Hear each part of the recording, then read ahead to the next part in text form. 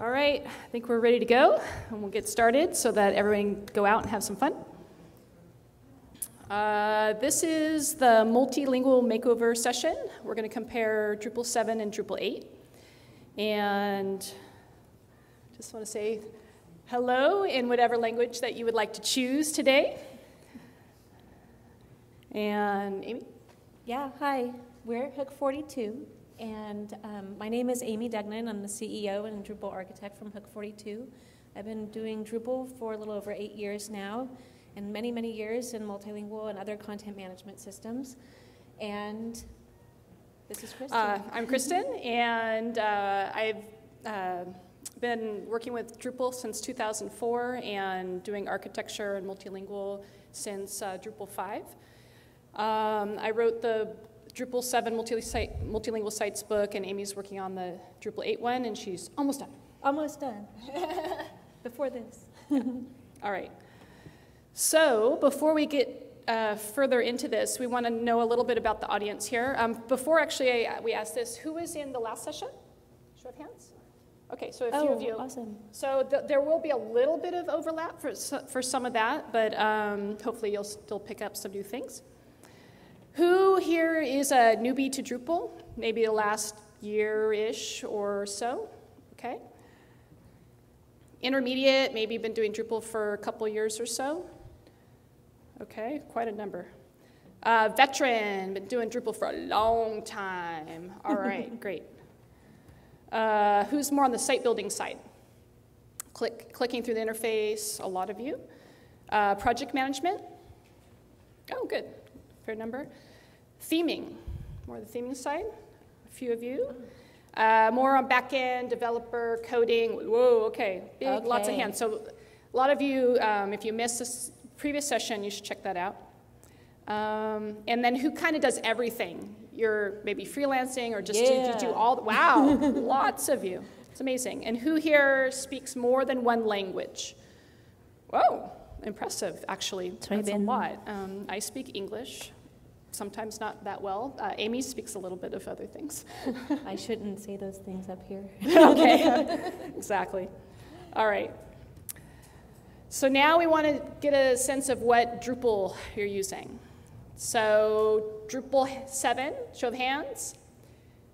I would imagine if your hand's not up, that would be interesting. Uh, all right, there we go. Uh, Drupal 8. Oh, a fair number. Okay, cool. You want okay, to do this one? Yeah. And um, so it looks like um, a lot of people here are looking to use Drupal 8, correct? All right, and we're planning there. Um, and for those who were in um, Gabor's session, uh, we're going to cover the four pillars of multilingual quickly again, um, but we'll get into those quickly soon. First of all, there's language. Then there's the user interface. Then content and then config. And we'll go into detail through the deck on all of these different areas. So let's talk about language. So what's language? I think they're like little codes and stuff. Um, well, first of all, language is not just the language itself, but it's also defined as both language and region because you can be speaking French in Canada and you can be speaking French in France, and it could be two very different things. So in um, both systems, in Drupal 7 and Drupal 8, there's going to be some similarities between the systems, and there's going to be some differences. So we'll go over some of, uh, some of both of those things. So for language, um, you're going to find some similar things between Drupal 7 and Drupal 8.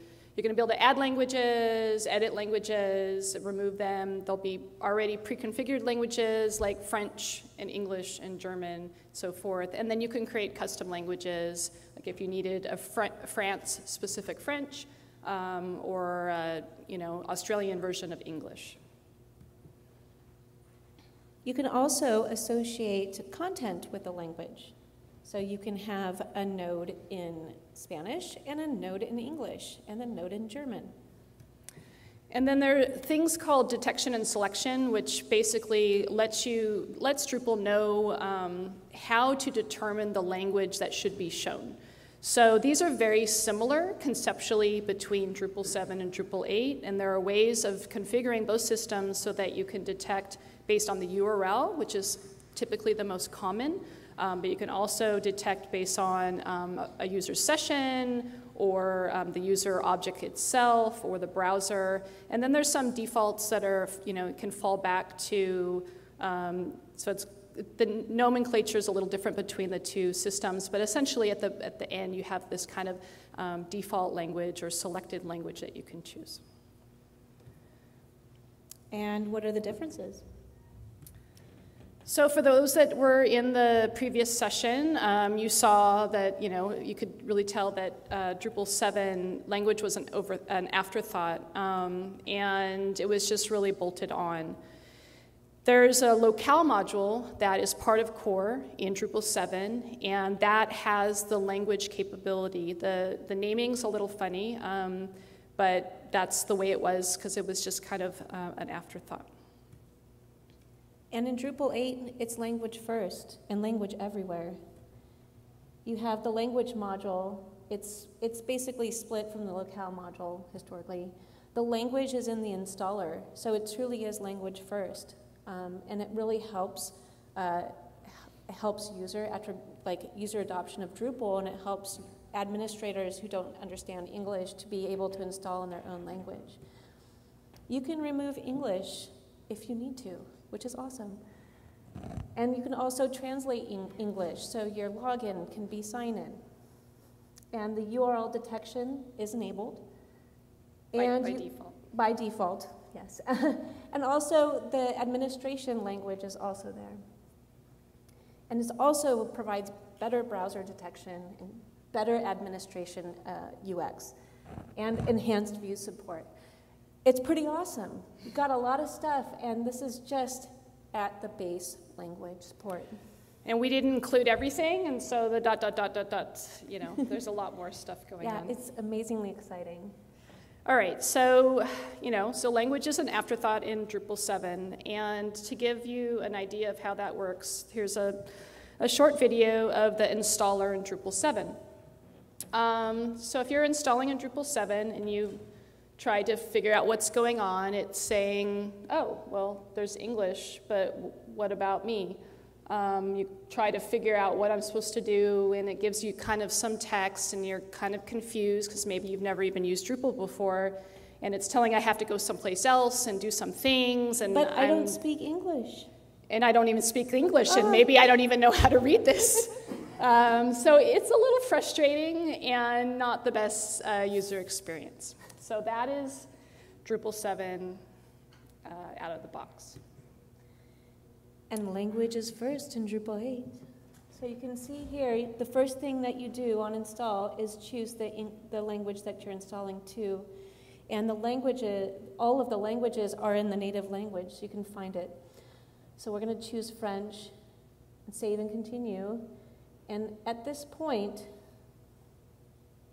at this point, it's thinking, okay, so we're going to choose the standard installation, but look at what it did it said, You have chosen French. I'm going to switch the interface right at the upfront uh, moment so I can make informed choices in my own language.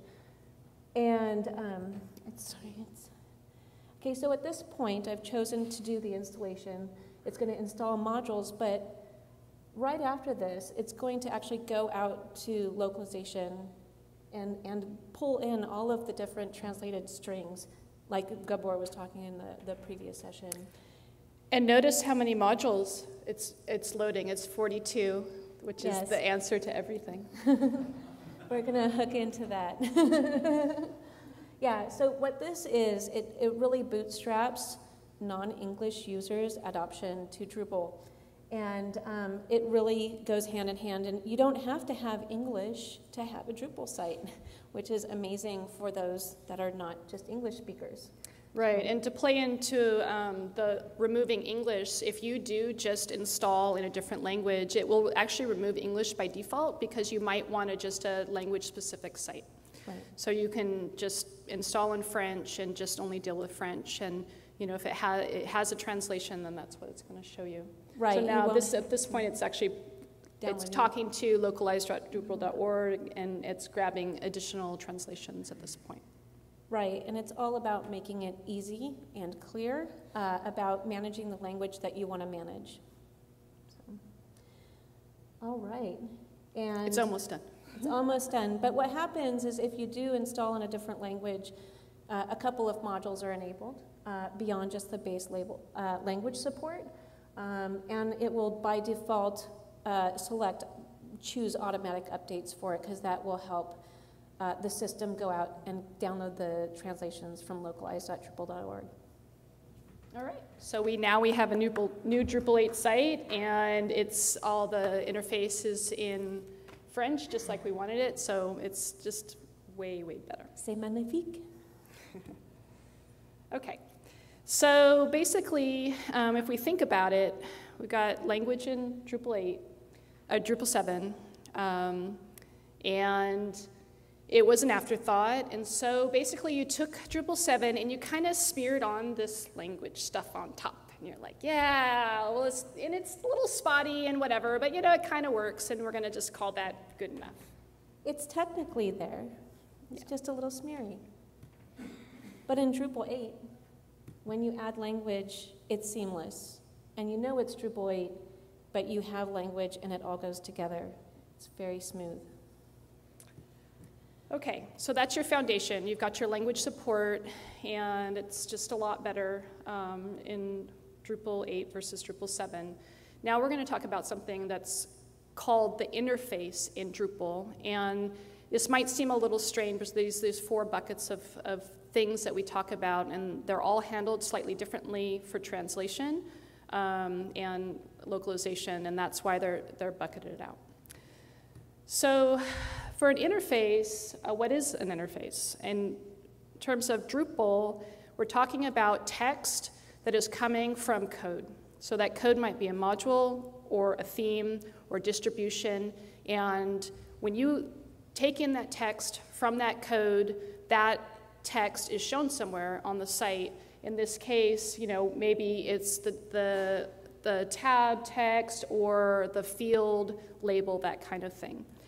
So in Drupal 7, this was done with the T function, and uh, you just pass it. And so if you're a module developer, and there were a lot of developers in the house, even if you don't think your site's going to be multilingual, it's always good um, best practice to pass your text through a T function when you're developing. In Drupal 7, you do that just with the T function. In Drupal 8, things have changed with dependency injection, and we do something slightly different, but the, conceptually, it's pretty much the same. So, what are the similarities? So, first of all, like Kristen just covered, the T function is pretty similar to the new Drupal 8 version um, as you apply it in most common use cases. The import process of the translations is also very similar. Um, the export process goes with the import process is also very similar.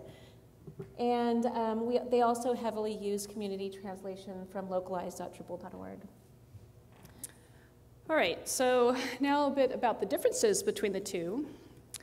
Uh, in Drupal 7, in order to handle the interface, there tend to be several modules involved. Locale, like we mentioned, is a core module, and so we'd always install that. Localization update is a contrib module or community module, and that one um, you should install because it makes things much easier. If you don't install it, you have to do a lot of manual processing in order to get your interface strings uh, translated to these, you know, pretty standard um, translations that are available on this other website, the localize.drupal.org. Uh, optionally, there's string overrides, which um, you don't have to use on a multilingual site, but you can, and that lets you translate from English to English if you would like, log in to sign out, that kind, or sign, yeah, log out to sign out, that kind of thing. Um, or it actually, you can use it for multilingual as well. Uh, and then there's this admin interface module, which again is an optional thing, but a lot of people use it which if I'm managing a Japanese site and I don't know anything about Japanese, I can use admin language to say, I speak English. Please show whatever you can in English to me because I don't speak this other language. And in Drupal 8, one module, one, one. And you get so much more. Um, you get automated, automated, uh, I can't talk, it's the end of the day. Woo! okay. You get automatic updates, and also um, the updates are done with batch processing, so you don't have any timeouts or anything. You get translatable English, which replaces the string overrides. You have your admin language, which replaces the admin language module. You have a better translate page. So, who's familiar with the translate page?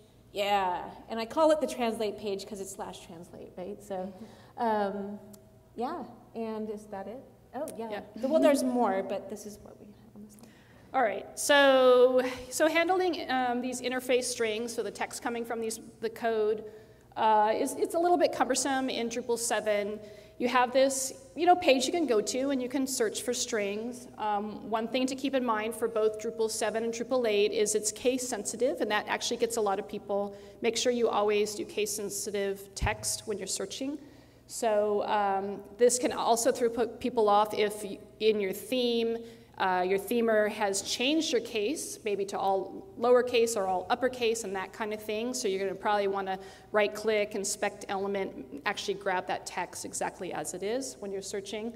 Um, but if, if I needed to change all of the, you know, translate all of the text that was related to the word log, L O G, capital L O G, you know, I could search for that and I would end up with a number of, of strings and then I'd have to go in one by one and edit each one.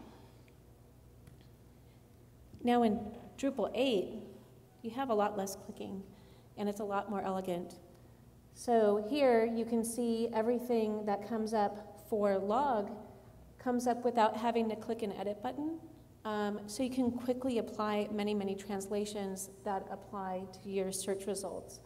Um, also, this, um, this is a view uh, and so you can extend out your translation searches through not just the everything, but you can really isolate it to your customized translations, the translations from localize.drupal.org, and things that are not translated at all.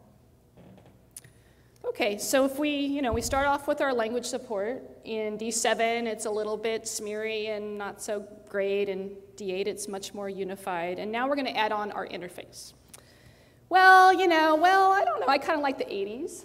I was kind of, you know, a teenager in the 80s. So for D7, I'm going to go with the brick phone because, you know, it works. I can communicate and interface with the world. And it's, but, you know, uh, maybe it's not the best, but it's functional. But, you know, we're in the present and toward the future. And I have a smartphone it is strong, it is sleek and powerful. And boy, is it far less heavy than your brick phone, brick but phone. it does so much more, and it is amazing. And that's Drupal 8 multilingual. All right, so that's a bit about the differences and similarities for interface um, between Drupal 7 and Drupal 8. So, a lot of what's going to happen is content. So let's talk about content. In Drupal 7, there are lots of things called content. Um, nodes, comments, users, taxonomy terms, and custom entities. And so what happened was in previous versions of Drupal, Drupal 6 and before, we had nodes, and then people would be like, oh, well, nodes can use CCK and they could have fields. I really like fields. I want my users to have fields, and that's so awesome. And so they would use user node and make their users nodes so they could add fields. And then in D7, they're like, wow, we should be able to start making people add fields to things. So then they introduced entities in Drupal 7. But it was, you know, kind of not fully baked, you know, so some things were entities and other things were just what they were before. Um, so basically, you know, these are the types of things that are considered content in Drupal 7. But content in Drupal 8 is far more unified. It's the same as Drupal 7, but plus. Blocks are now content instead of this weird thing that it used to be. menu items, contact messages, and your custom content entities. So those custom content entities we saw before in creation of, with your API, you can set them up to be configurably translated, and it just surfaces to the content translation, translation system. So there are some similarities between the two systems. Um, so we have this idea of a translate tab where it's pretty obvious, you know, if you set things up so that you can translate, there's a tab, you're, you know, looking at a particular piece, a piece of content, and there's a translate tab, and that's where you go to do your translations. So that concept has, has, is the same between the two. And the other thing is, um, in Drupal 7, there were two ways to be able to translate nodes in particular. Uh, there was the core way of doing it, which was node translation or content translation, however you want to call it. And then there was entity translation, was a you know a contrib module, but it was heavily used as well. So uh, conceptually, you can think of the D8 method for translating content is very similar to the way D7 was doing it with entity translation, plus a few other modules to tack onto there. And the differences are? So in D7, uh, lots of hun hunting and pecking, uh, a lot of modules, and I haven't even listed them all. So, like I mentioned, content translation, which is in core, there's this whole suite of internationalization modules that you know you, you know, tend to use that have um, you know there's a I don't know 20 modules in there or something like that. And then you could also use entity translation, and sometimes people use both content, tra- content translation and entity translation at the same time, which is super confusing. That's confusing. Yeah, and then the title module is interesting because the way that Drupal 7 is set up, titles uh, of nodes in Drupal 7 are properties. Uh, they're not fields. So if you were to use entity translation for node content in Drupal 7, um, by itself, you would not be able to translate the title, which is kind of important, I would uh, think. I think so. So you tack on this other module called the title module, just because that's just the way we roll. Um, and you know, once you add enough modules and configure enough thing, then you know it's pretty much going to work. So um, yeah, uh, in Drupal 8, there's one config page to rule them all. So your hunting and pecking is focused. There is no hunting and pecking. The clicking is lighter, and my wrist is better. There's one module, one module. It's the content translation module, and it is in core. You don't have to go through all of the contrib and figure out which modules do I need, which ones are relevant. And um, you, it also comes with inline editing. It's amazing. It, it makes it so much easier for your translation team to jump in. Uh, you have block visibility, so blocks can have multiple blocks on the page, but also visible. You can have one block on, multiple times on the page, and you can have visibility based on language. And you can have fallback per entity, which is amazingly powerful. All right, so basically, you get carpal tunnel in Drupal 7 because you're going to be clicking a lot. Uh, so here's an example. We're going to start off, we're going to do entity translation. So we go to the entity translation configuration page, and we're going to translate nodes. So we make sure that that's selected. Then we have to actually go to a particular content type that we want to use. Uh, we want to be able to translate and make sure that we enable it with field translation, which is the same as entity translation, and then we save that. Then we need to go to every single field that we would like to be able to translate. And I didn't even well, I mentioned the title module. If you in, in, install the title module, you'll see that little replace at the corner there that you have to click that and make sure that you click that so that the title is translatable. But then for every single field for your content type, you need to go in and make sure that you do field translation and enable it. If you have big, a lot of content types and a lot of fields, this is a pretty tedious process.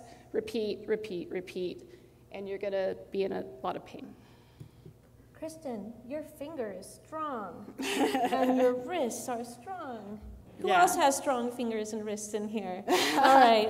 Everybody so, raise their hand for Drupal You know, you 7. can click a lot in Drupal, and you know, little clicking's not so bad. But you know, people that have done features configuration Yeah. know very well, or permissions. You know, you know all about the clicky click. All right. Oh, but Drupal 8 is so much easier and it's a breath of fresh air. You go to one place, you see all of the different configurable content types for translation at the end, at the top. You click a content type, enable translation. You can see pretty much everything by best use cases are, are selected as default for translation. Um, also, image was uh, the image file itself was not selected to be translated because it's not an often use case. It's, it's not the default use case to actually switch the image. Um, but it's all on one page. And you can see, um, you can select all the different types of content. And this is actually a great summary of all the types of content that are available. And then there's more. It depends on which modules you enable on your core site. All right. So basically, we've got our language, and Drupal 7 is a little smeary. We've got our brick phone, you know, so that we can interface with the outside world. And then we've got to put on some multilingual clothes for our content, right? Yeah, our so content is our body. Yeah. So our goal for our multilingual content clothes is we want long pants and long sleeves. All right, that's our goal in order to be fully clothed and be able to translate all of our content. So, given it's Drupal 7, why not put some, you know, put some shorts on first? Because you have to in, you have to install the Shorts module. Yeah, sure, that sounds good. Okay, and we'll put our, you know, we'll put our short sleeves on because, well, I guess we have to. Well, the short sleeves are required, right? By the shorts module. Or the, the short. Okay, yes. Okay. All sure. right, Okay. that's well, clear. I guess Okay. it kind of makes sense. They're short sleeve, short. Okay, fine. Well, you know, we're going to put some shoes on. They don't quite match, but you know, they sort of work. So we'll do that. And then we're going to actually, you know, put our long pants on because, well, You have to install the long pants module to make sure that you have long pants, and that is extends the short pants module. and we'll add our sleeves on. Add our long sleeves. Okay. I'm getting kind of cold Okay. anyway. well, you so had to actually go and find the right Well, long yeah, sleeves module. I, I looked around. I think this one might be the right one. Okay. So now we've got. Oh, I forgot my patches. Yeah, well, it You meets the to patch a lot of requirement. modules. Oh, here, let me know, help so you we'll- with that. Okay, thanks. Thank you. Okay, good. Okay, great. So wait, wait. I think I forgot one thing. The title module. Okay, I need a. I need a. Where's Larry Garfield? We need a vest. I don't have a vest. Well, we'll pretend this is a vest. Okay, that'll work. All right. Okay. Ah, I got my brick phone. Um, I've got now. I've got my long pants and my long sleeves. Right. Okay, we got there. Yeah, but you're ready. You're ready to translate your content, right? right. Sounds Okay. good. But boy, that was hard. For a Drupal 8, it's sleek. It's one module. It's one outfit. It's the future. It's not the red shirt. it will survive. But you can see we install one module. It's sleek, it's elegant, it's functional, it's, it's the future. And boy, was that faster. This is the last session of the day, so hopefully we're keeping you awake. All right. So that was content. Um, we're gonna now we're gonna talk about kind of the last bucket, last pillar of, of multilingual, and we're gonna talk a bit about config. So config is a lot of things. It's like all the other stuff, which is not a great technical answer, but um, if you're understanding the, the content theory and, um, and interface, then it is contact categories, content type settings. It's like the labels around the settings. It's the field settings, menus, roles, site info, user mails, vocabularies. It's the structure to your content. Um, so it's not the terms, it's the vocabulary. Um, and so it's anything that's not the interface or content. Okay. So in terms of the similarities um, in this config bucket, not a lot, and we'll see why in a minute. Uh, difference on, the differences between them. So in Drupal 7, we have a, a lot of inconsistent handling of config, and that's uh, because config is handled in a lot of different ways. So that requires a lot of different types of modules in order to handle the configuration. And there's a lot of dots I could have added to this because it just goes on and on and on. But um, if you want to translate blocks, blocks are not content in Drupal 7, use the block languages module, which is from the internationalization suite. If you want to translate menus, use the menu translation module from the internationalization suite. Um, and so forth and so on. So, you know, site configuration, like the, the site name or the site slogan, then you use the variable translation module, which has several submodules you have to install, like variable and variable schema and so forth. So it, it's, it's quite daunting. There's a lot of modules going on. But in Drupal 8, there's one unified configuration page.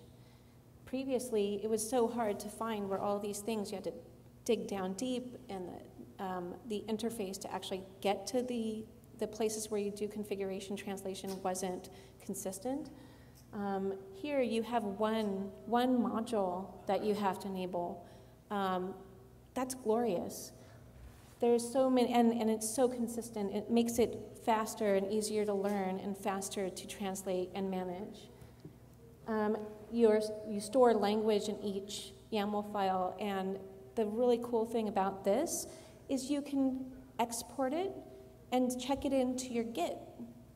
And then you have backups and you can deploy it through multiple like production environment, multiple environments for testing. You get tested. All right. So, you know, basically configuration translation is consistent with the rest of the system. So for content, we have a translate tab. And so when we see that, we know we can click on it and we can go and translate con uh, content uh, for configuration, you go and you have to go find where that configuration lives, and then there's another type of interface, which is different. So in this case, you know, we've got three languages installed, so we're seeing the three languages side by side on the same page. If you had 40 languages installed, you would see all 40 languages side by side on this page, and it can get a little bit overwhelming. And it's also inconsistent with how the, um, the content translation is handled. In Drupal 8, the team, the, the, the Drupal 8 team, the UI and the, the multilingual initiative really focused on making sure that the interfaces are consistent so you can actually find where all the translation system um, the, the translation systems are. So you'll see that the the interface is far more consistent and it's easier to train yourself and content translators. And the configuration translation page has one unified page in D8. So perhaps um, you can see here, you can either have list all the fields for config translation, or you can go directly to the translate page for those things that just have one, those, those config translations that just have one item, like the system information. And so you can just quickly click translate, you update the translation, save translation, and there it goes. And you can see that you have now had your system configuration without hunting and pecking, without trying to find all the different things, and without trying to find, like, oh, the variable information is tucked in this, like, node area. Like, how do I know to look there? I look at my, like, my, my navigation menus for this. So it's completely consistent and, and so much easier. All right. So we have our language, we've got our interface, we've got our, our clothing of our content with whatever patches we needed to add to make sure we're all good. And then we want to start adding our configuration support on top of that.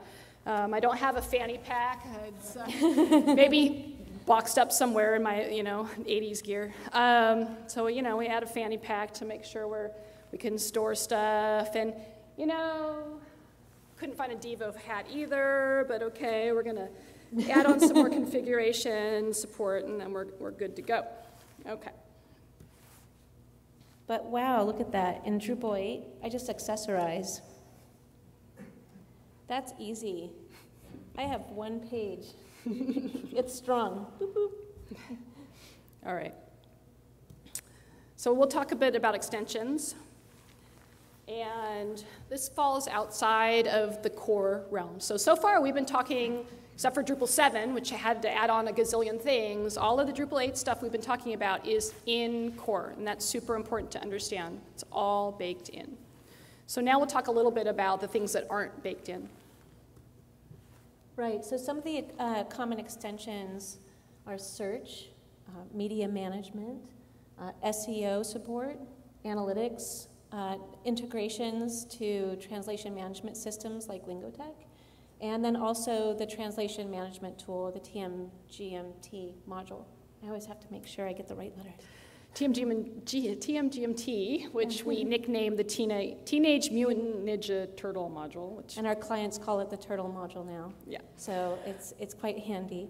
Um, All right, and then okay. TMGMT will give you plugins to other vendors that have uh, translation services. And they'll allow additional exports of different files, like both versions of Drupal by default use PO files for importing and exporting, but then you can support XLIFF and HTML and other types of exports using the TMGMT module.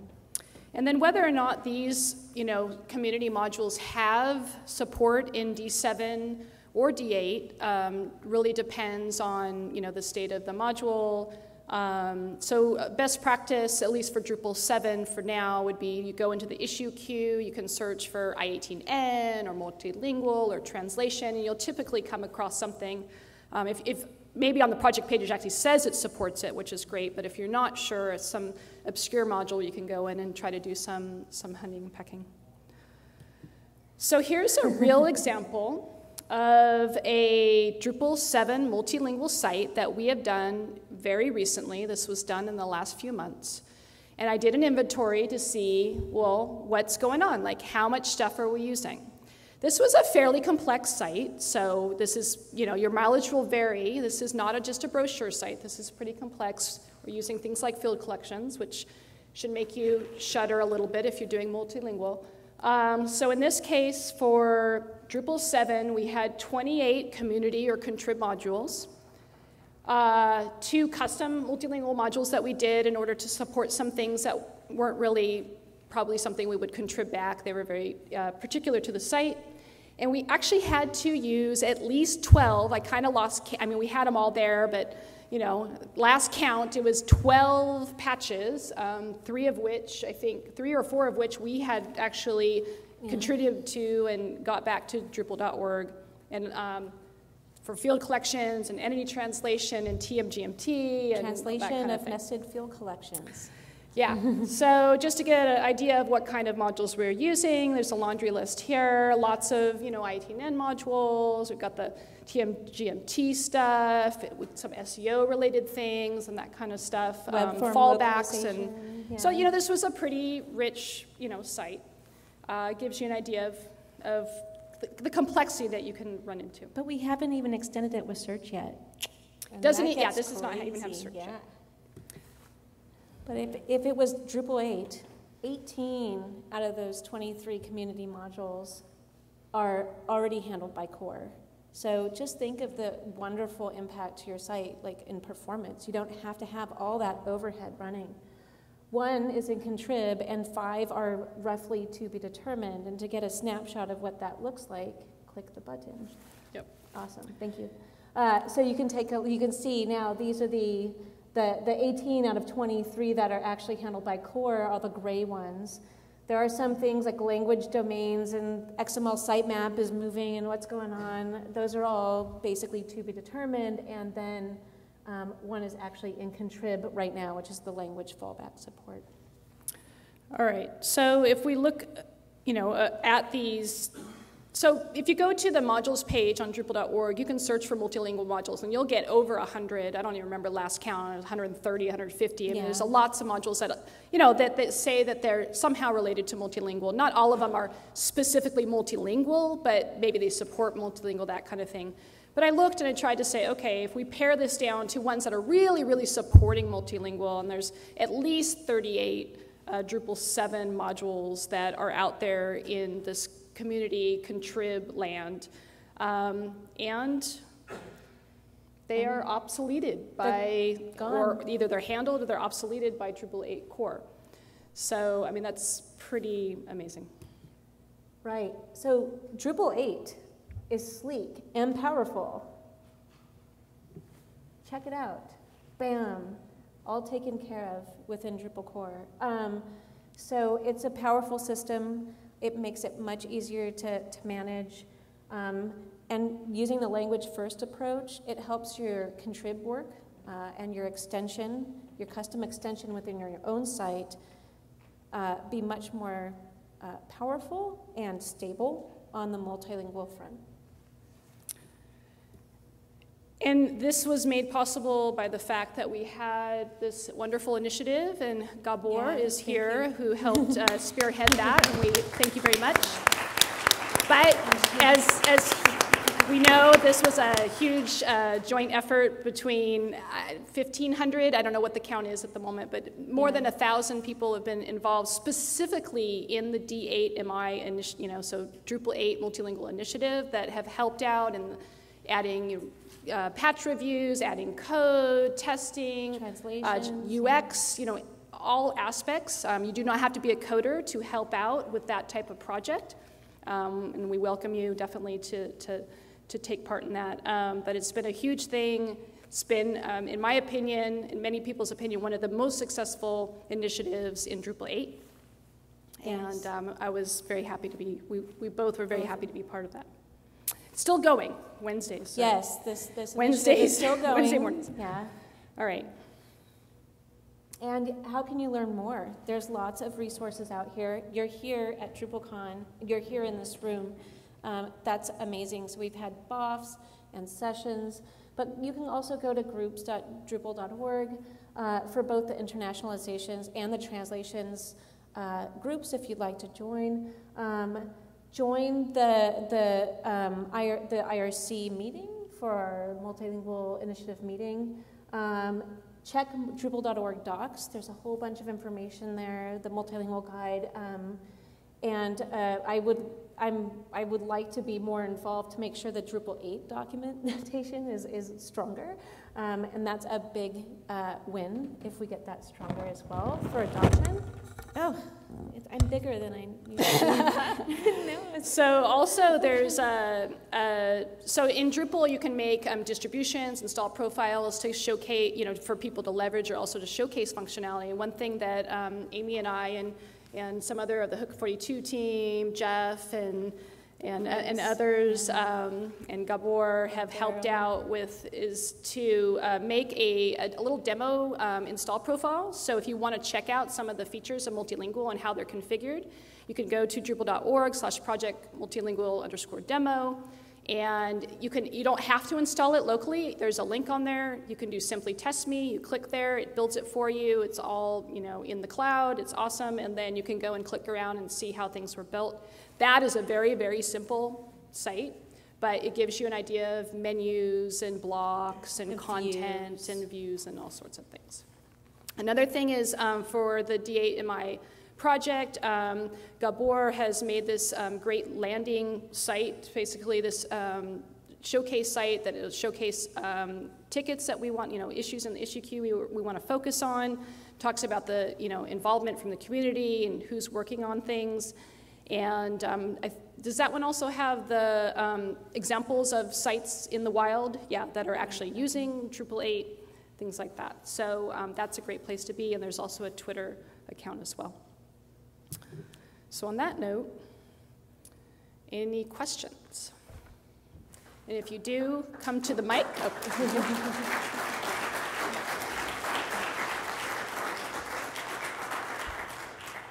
So if anyone does have any questions, I know it's end of the day, people are tired, they want to go to dinner, but just use a microphone or we'll yell it out and we'll repeat it.